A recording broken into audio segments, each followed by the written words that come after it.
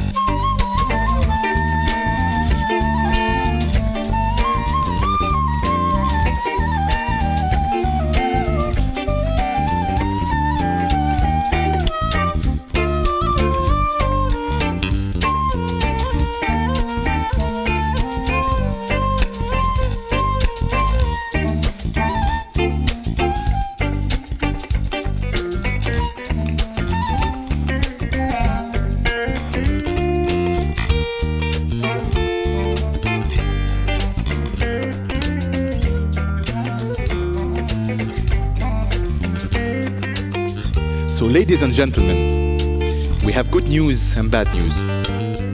Bad news is the countdown has started. We only have 40 years until we run out of fuel. So no more cars, no more trips to Mars, no more electric guitars.